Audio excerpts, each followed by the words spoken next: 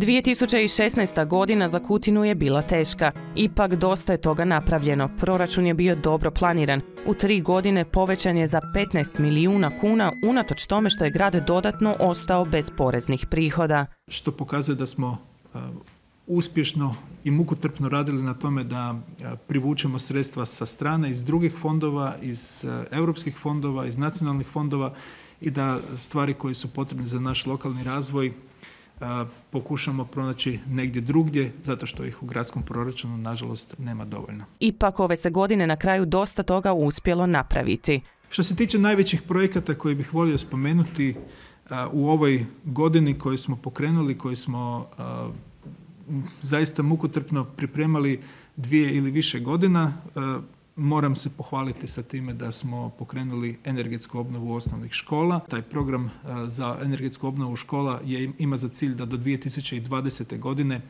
obnovimo sve naše e, matične škole e, i ukupan taj iznos koji bi se mogao, koji će se trebati upotrebiti za, za tu obnovu je preko 21 milijun kuna. Vrlo uspješno energetski obnovljena osnovna škola Vladimira Vidrića koja je bila jedna od sedam škola u Hrvatskoj čija je energetska obnova sa 70% sufinancirana iz europskih fondova. Sada ćemo iz uštede u energentima zapravo e, moći unapređivati naš nastavni proces i e, poboljšavati uvjete za boravak učitelja i naravno prije svega učenika u školama. Jedan od najvećih projekata koji smo ove godine pokrenuli, e, u stvari evo, upravo ga dovršavamo, e, nastavak njegov je e, izgradnja magistralnog vodovoda u Kutini, odnosno Kutina Lipovljani. To je kičma buduće vodoopskrbe cijelog istočnog dijela grada.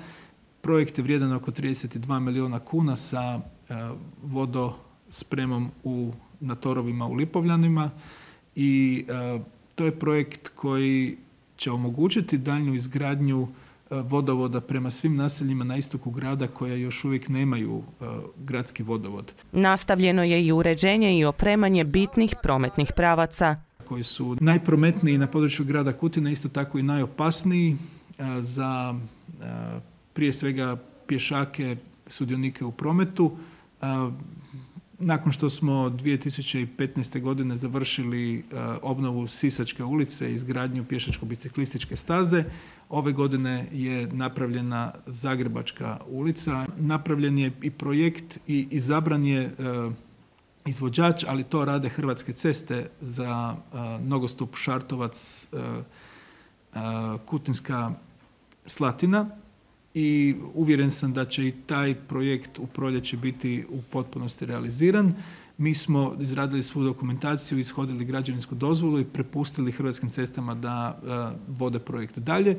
Uvjeren sam da je taj projekt e, vrlo važan za e, stanovnike Šartovca, posebno za najmlađe. Kutina je nastavila koristiti europske fondove. Što grad Kutina, nažalost, nije koristio do 2013. godine, u periodu od 2013. do ove 2016. godine mi smo ukupno povukli oko 25 milijuna kuna iz europskih fondova.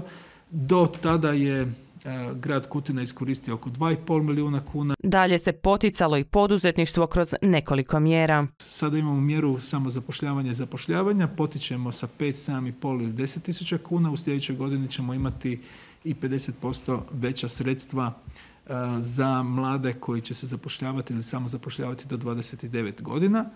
Također imamo mjeru povećanja konkurentnosti, odnosno nabave novih alata, nove opreme koja omogućuje bolju konkurentnost naših poduzetnika. Imamo i podršku, odnosno potpore bespovratne za turističke turističke projekte i tu mogu reći da smo oko 230 tisuća kuna do sada uložili, a efekti se e, broje u desecima miliona, miliona kuna. Veliki pomak napravljen je i u društvenim aktivnostima. Vrlo živo bilo je tijekom ljeta, a nova manifestacija Zimska čarolija koja je po prvi put u Kutinu dovela klizalište pokazala se kao pravi pogodak jer je Kutina u ovo predblagdansko vrijeme doista živi grad.